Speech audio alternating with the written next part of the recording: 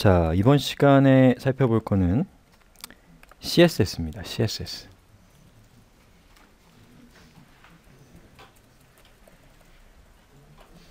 자, CSS 들어보신 분? 네, 처음 들어보신 분? 네. 자, 처음 들어보신 분한테 맞추니까 아시는 분들은 그냥 한번 정리한다고 생각해, 생각하시면 될 것 같아요. 자, CSS는 제가 약자를 풀어보지 않겠습니다. 별로 건질 게 없어요. 예. 아, 좀 조금 풀 수는 있겠다. 자.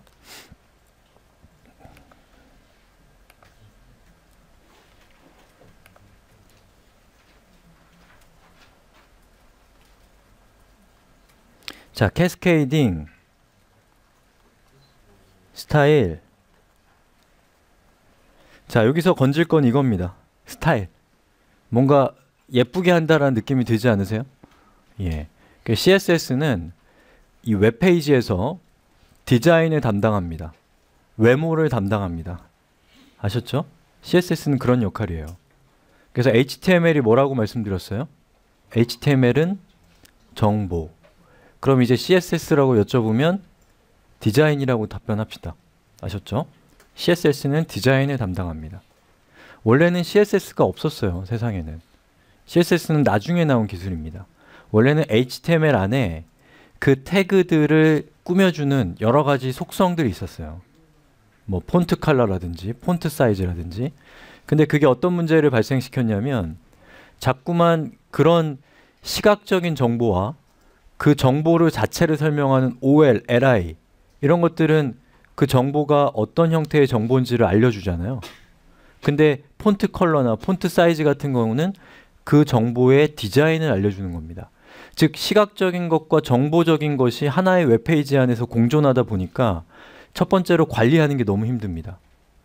예, 웹페이지를 만드는 게 HTML을 만드는 게 너무 힘들고 또 하나는 그 시스템을 이해해야 되는 그 체계를 그 뭐, 뭐라고 해야 되나요? 그 HTML 파일을 이해해야 되는 머신들이 그걸 이해하는 게 너무 힘든 거예요. 자, 그 얘기는 이따가 우리가 CSS를 조금 더 구체적으로 알게 된 다음에 제가 다시 얘기할게요.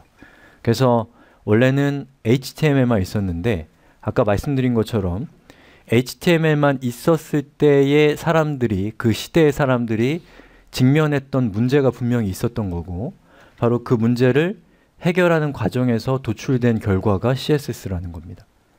그래서 CSS로 인해서 굉장히 편리해졌는데 다시 CSS의 한계가 또 보이기 시작하는 지금인 거예요.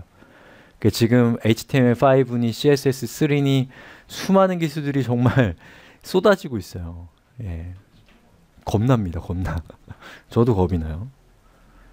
예. 그래서 웹이라는 게 옛날에는 조금 진입 장벽이 낮은 기술이었는데 점점 그렇지 않은 기술로 가고 있어요. 그러니까 빨리 들어오셔야 돼요. 예. 예. 자. CSS는 HTML보다 한 1.5배 어려워요. CSS는. 다행이죠.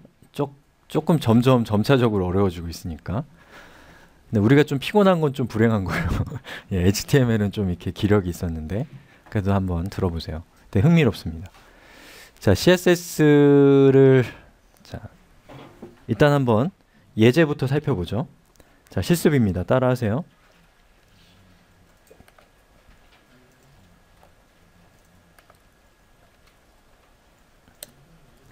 자, 앞에다가 CSS라고 붙이고 조금 파일을 체계적으로 관리합시다. CSS underbar 그리고 뭐 1로 합시다. 아, 죄송해요. 자, 1.html로 하셔야 돼요.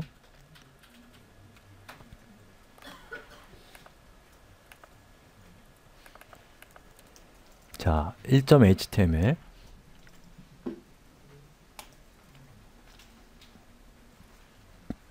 CSS는 HTML 위에서 동작합니다. 그래서 HTML 없이는 CSS는 의미가 없어요. 그래서 우리가 HTML 파일을 먼저 만든 거예요. 자, 그러면 HTML 하면 우리 기본적인 왁구가 있죠? 자, 자 이렇게 기본적인 레이아웃은 이렇습니다. 항상 HTML은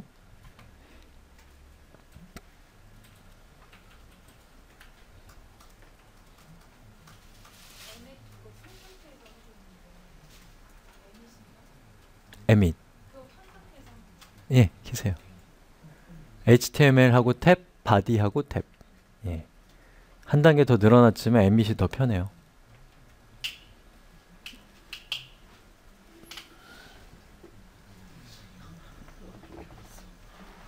자, 잘 되셨, 되셨어요? 예. 자. 그러면 우리가 우리가 좋아하는 UL 태그를 써서 li 곱하기 5 탭. 자, 이렇게 해서 여기다가 뭐 좋아하는 항목들을 추가하세요.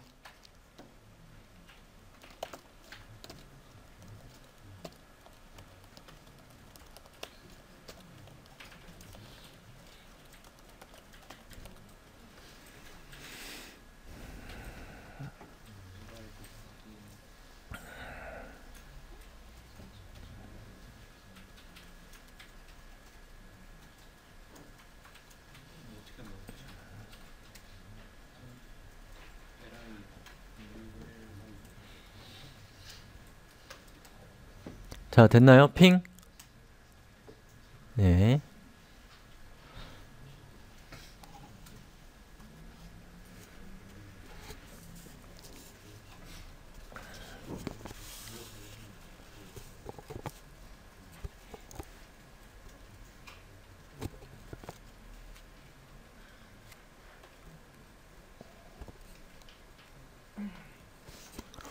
자, 핑. 자, 이렇게 저랑 저와 같은 화면이 뜨나요? 자, css 1.html 이렇게 떴으면 됐습니다. 자, 제가 뭐 디자인을 얘기하긴 했지만 우리 디자인 수업은 아닌 거 아시죠? 제가 예쁘게 하는 재주는 없어요. 못생기게 하는 재주는 있습니다. 예. 못생기게 한번 만들어 볼게요. 자.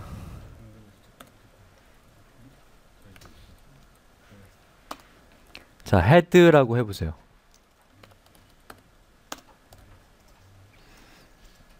자, body가 있고 head가 있죠. body는 이 브라우저에서 여기 요, 여기 화면 표시되는 요 영역 있죠? 그 영역에 출 표시되는 것들이 보통 body 태그 안에 들어옵니다. 그리고 head 태그는 head 태그 안에 들어오는 정보들은 그 문서의 제목, 그 문서의 그 문자 코드 값, 아까 제가 character set이라고 말씀드렸던 UTF 이런 거 기억나시죠? 그런 거라든지 아니면 그 문서의 어떤 키워드 그런 눈에 보이진 않지만 그 문서 자체를 설명하는 정보들이 head 태그 안에 들어와요. 그래서 우리 육체는 보이죠? 정신은 안 보이죠? 뭐 그런 메타포겠죠. 예. 자, 그래서 head 안에다가 style이라고 쓰세요. 탭.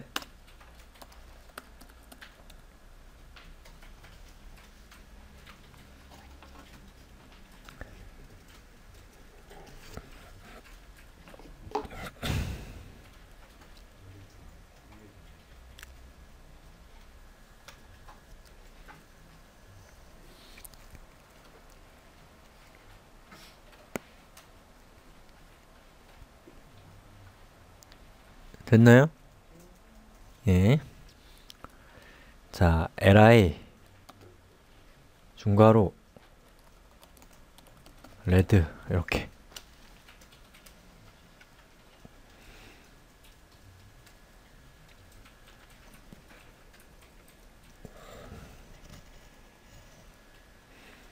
그리고 빨리 확인해 보세요. 다 되신 분들은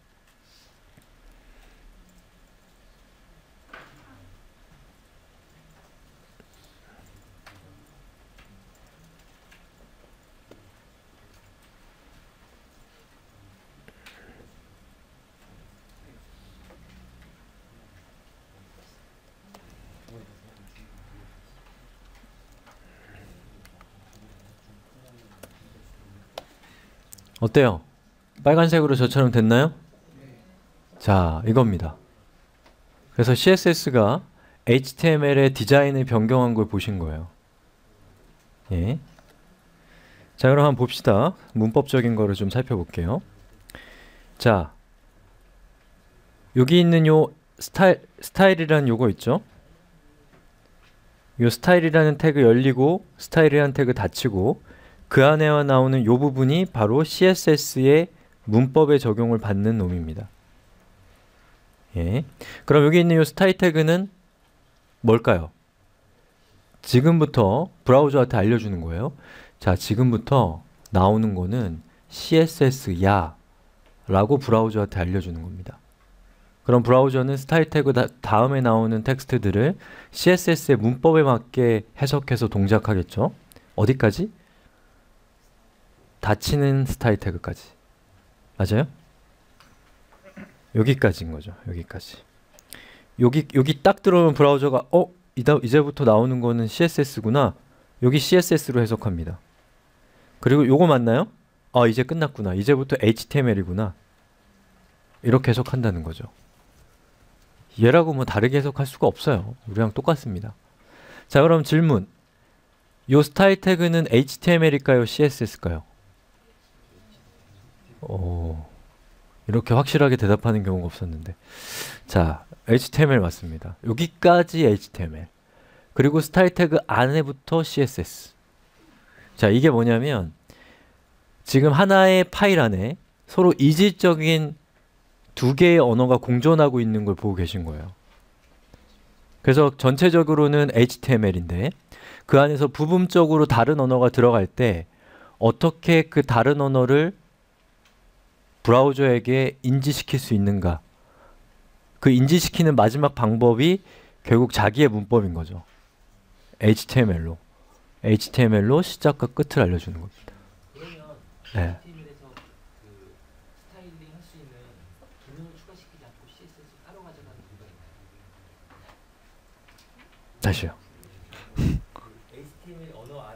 그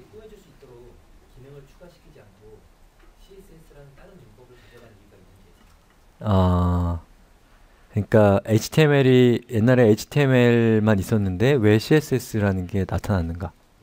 그거는 제가 조금만 이따가 설명드릴게요. 제가 기억했다가 예, 아까 제가 설명드리기로 했었죠, 그죠?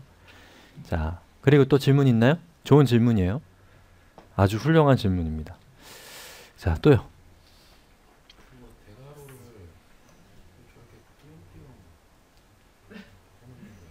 어디요? 바로 열고 옆에다 쓰고 바로 닫아 닫지 않고 아 중가로 얘기하시는 건가요? 그거는 뭐 제 스타일이긴 해요. 예, 예. 그래도 돼요. 예. 근데 이유는 있어요. 제가 좀 이따 설명드릴 건데 만약에 한 개라면 말씀하신 것처럼 한 줄로 끝내도 돼요. 근데 여러 개 효과가 들, 그 이따가 설명드릴게요. 자, 또 질문 있나요? 자, 갑시다.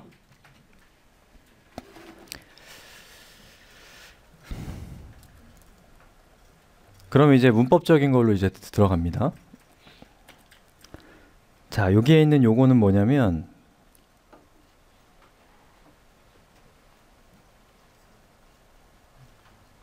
우리말로는 자, 우리말로는 선택자라고 합니다. 선택자. 셀렉터. 왜 제가 선택자일까요? 자, 이 뒤에 것부터 중괄호 안에 들어가 있는 이 구간 있죠? 여기 있는 얘는 뭐라고 하냐면 또는 뭐 description이라고도 해요. 자, 효과라고도 합니다. 효과. 자, 그럼 여기 있는 거는 그냥 딱 봐도 대충 알겠죠? 색깔을 붉은색으로 해라 라는 뜻이겠죠. 그죠? 자, 색깔을 붉은색으로 해라 라고 하는 게 효과. 그리고 여기 있는 이 효과를 어디에 적용할 것이냐 라는 것이 선택자인 거죠. 그래서 li란 이름을 갖고 있는 태그들에게 태그들의 글씨 색깔을 붉은색으로 해라 라고 하는 것이 여기 있는 요 내용입니다. 그래서 요거는 주어, 요거는 뭐 형용사 뭐 이렇게 볼 수도 있는 거죠. 예, 기본적으로 사람의 언어랑 상당히 유사해요. 예, 근데 더 분명한 분명한 이 기호 체계들을 갖고 있죠. 왜냐하면 사람의 언어라고 하는 거는 음성 기반이기 때문에 어떤 기호 같은 것들을 쓰기가 애매하죠. 근데 요거는 이제 시스템이 이해하는 거는 굳이 음성 기반이 아니기 때문에 훨씬 더 다양한 이런 기호들을 이용해서 더 분명하게 표현할 수 있는 장점이 있는 거죠. 자, 그래서 주어 서술어 이런 관계라고 볼 수 있습니다. li를 li의 컬러는 붉은색 이런 뜻이라는 거죠. 자, 그러면 만약에 여기 있는 저 li 폰트 사이즈를 제가 확 키우고 싶어요. 그럼 어떻게 하면 될까요? 폰트 사이즈는 얼마 이렇게 하면 되겠죠? 자, 해볼게요.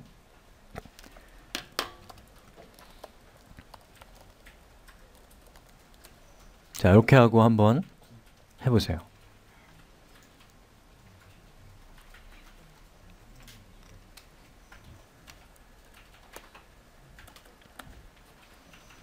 뭔가 현대 미술 같은 느낌이 나죠.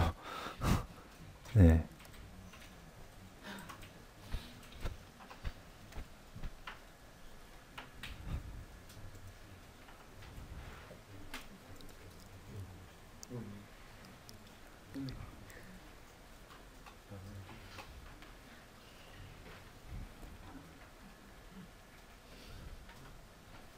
자, 어떠세요?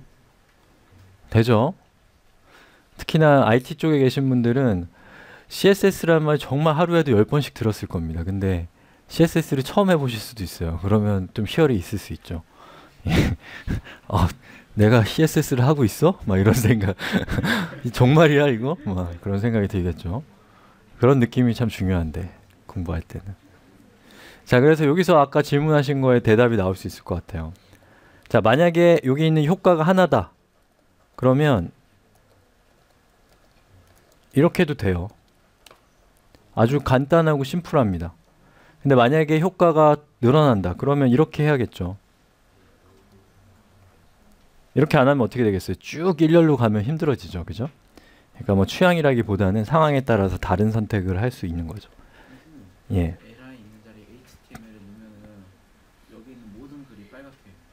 li 이렇게 하면 똑같이 이렇죠. 헤드를 누르면 안 그렇죠. 예. 자, 됐나요? 자, 이게 뭐냐면 선택자라는 겁니다. 기본적으로 여러분이 CSS를 이해하는 첫 번째 키워드는 선택자입니다. 기가 막히지 않아요? 예. 완전히 서로 다른 언어인데 이런 선택자라는 체계를 통해서 HTML을 꾸며주고 있는 거예요.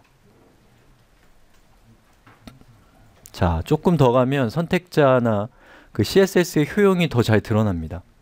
예, 제가 그거는 자연스럽게 이해하실 수가 있을 거기 때문에 제가 아까 일부러 설명 안 드렸어요. 왜 CSS가 생긴 거냐는 거. 자, 갑시까, 갈까요? 아, 말이 자꾸 헛나오네요. 갑시까. 그거 따라 하실 필요는 없는데. 자, 만약에 여기 있는 요 여러 가지의 태그 중에 HTML과 JavaScript만 제가 빨간색으로 표현하고 싶으면 어떻게 하면 될까요? 어떻게 할까요? 자, 여기서는 못해요. 제가 지금까지 설명드린 재료만으로는 할 수 없어요. 죄송해요. 할 수 없는 걸 물어봐서. 습관이에요, 습관. 못된 습관이에요. 자, class는 그냥 active. 이 active란 이름은 임의의 이름이에요. 제 마음대로 쓴 이름입니다. active가 아니라 뭐 deactive라도 상관없어요. 자, 이렇게 active라고 줍니다. 자, 그러면 지금 제가 강조 표시하려고 하는 이 HTML 태그들은 class의 이름이 뭐예요? active죠.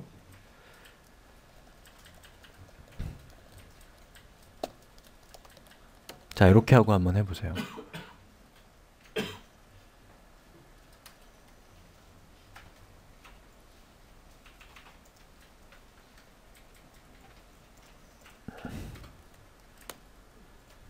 어때요? 이렇게 되나요? 아, 점이요? 그냥 맞춤표. 예, 예. 맞춤표. 자, 마침표. 알듯 말듯 하죠. 약속이기 때문에 그렇습니다. 이거 약속이에요. 저건 이해 영역이 아니라 아셔야 될 영역입니다. 이, 알고 계셔야 될 영역이에요. 자, 봅시다. 자, 요거 이런 걸 뭐라고 해요? 아, 그건 써 있잖아요. 제가 써 있는 거 물어보겠어요, 설마. 농담이에요. 자, 속성입니다. 속성. 근데 이 속성의 속성은 뭐죠? 이제 클래스, 그죠? 이 속성은 class란 이름의 속성입니다. 근데 이 class란 이름의 속성은 특수한 속성이에요. 다른 속성과는 다르게. 약속되어 있는 특수한 속성이에요. 뭐냐? 여러분이 CSS의 selector에 점 active라고 이렇게 써주면 그건 어떤 뜻이냐면 여러 HTML 태그들 중에 클래스의 값이 액티브인 태그들만을 선택하는 선택자가 됩니다. 자, 지금 한 얘기 잘 이해가 안 간다. 다시 설명해 드릴게요. 아, 다 이해갈 리가 없는데. 예, 다시 설명하면 되죠. 뭐, 뭐가 문제예요. 다시 한번 설명드릴게요. 자, 요 점이라고 하는 거는 의미가 있어요. 약속이 있습니다. 어떤 약속이냐? active란 이름의 class가 있는 태그들만을 선택하는 약속입니다. 그럼 제가 여기에다가 active가 아니라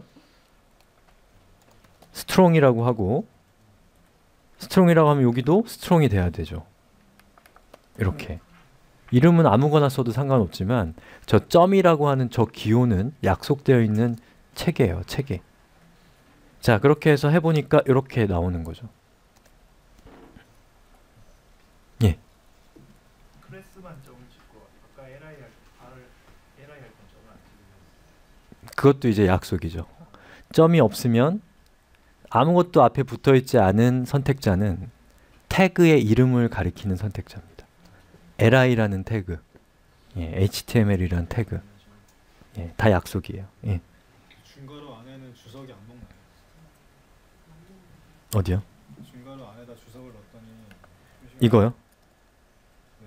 이거는 HTML의 주석이기 때문에 CSS의 주석은 따로 있어요. 자, 이건가? 아, 갑자기 헷갈리네. 이거 맞아요. 이것도 맞습니다. 아스트리크도 있고, 예. 다른 것도 있어요. 예. 예, 아까 제가 스트롱을 액티브로 바꿔봤고 했죠. 예. 예.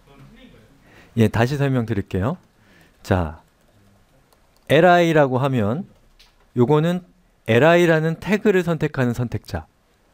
자, 여기다 점을 붙이면 li라는 클래스 네임을 갖고 있는 태그들만을 선택하는 선택자이기 때문에 이렇게 해야 됩니다. 아셨죠? 예. 자, 또요. 예. 혹시 저희가 지금 다섯 줄에 대해서 맨 처음에 LI를 CSS를 줬는데 거기서 효과를 주고 나머지 두 개만 따로 효과를 다른 효과를 주려면은 저게 한 번 더 나와야 돼요. 그 중괄호는 LI도 중괄호는 하나는 전체 주고 그 아, 그- 설명드릴게요. 자, 그건 제가 곧 설명드립니다. 자, 또요. 예. 저희 이제 색깔을 빨간색으로 지정했고 폰트, 폰트는 100으로 사이즈를 지정했는데 그게 어느 정도까지가 분류가 있는지 모르니까 혹시 그것도 특정 같은 게 있는 사이즈 크기. 그거는 해봐야 될 것 같은데요. 그거는 좀 스펙을 좀 봐야 될 것 같아요. 제가 그거는 제 지금 머릿속엔 없어요. 지금 말씀하신 거는. 일단은 생활 코딩에 보시면은 CSS 사전을 제가 만든 게 아니라 저희 같이 이거 하시는 디자이너 분이 혼자서 막 육아하면서 만들었어요. 예. 애엄마신데 대단하세요. 대단하신 분이에요. 아무튼 그거를 참고하시는 게 제일 쉬울 거예요. 한글이기 때문에. 그리고 그 외에 여러 가지 스펙 문서, 이 공식적인 문서들이 있는데 조금 보기 어려우실 거예요. 예. 자, 그리고요. 자, 그러면 조금 더 나가 볼게요. 자, 제가 li하고 이렇게 했죠. 어이구, 글씨가 너무 커서 화면에 안 나오네요. 아무것도. 자, 이렇게 된 거죠. 그죠? 자, 이렇게 된 상태에서 자.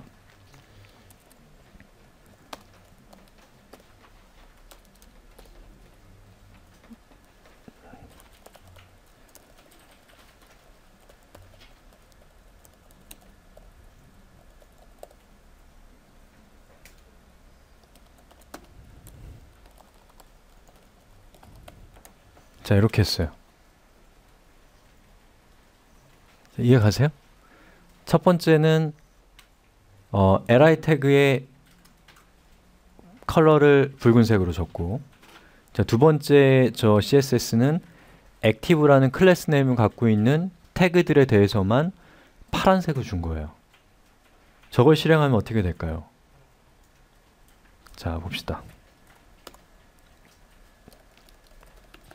자, 이렇게 됩니다.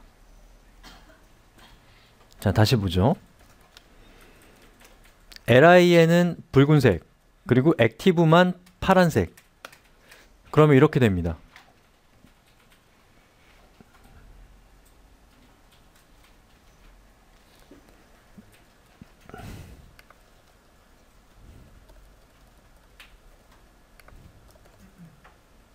자, 한번 비교해 보세요. 두 개 화면을.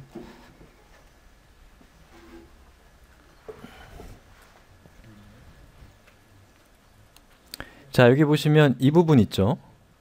제일 먼저 이 부분이 적용이 돼서 여기에 있는 모든 li 태그가 일단은 기본적으로 붉은색이 세팅이 되어 있습니다.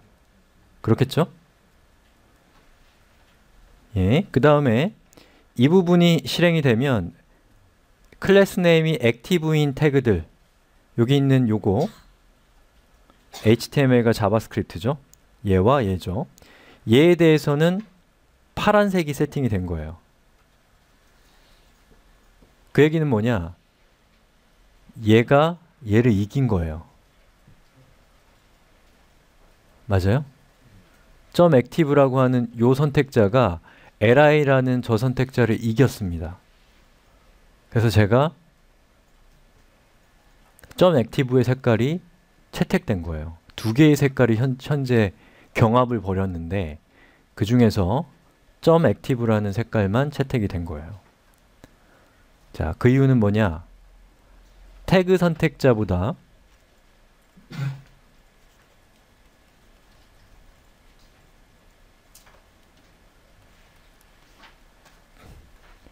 클래스 선택자가 태그 선택자보다 우선순위가 높기 때문입니다. 왜 클래스 선택자의 우선순위를 더 높였냐? 클래스 선택자가 더 구체적이기 때문에 그래요.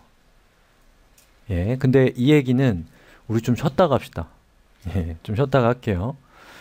자, 지금 좀 많이 지쳐 있는 지쳐 있으신 것 같은데 6시까지 쉬겠습니다. 6시.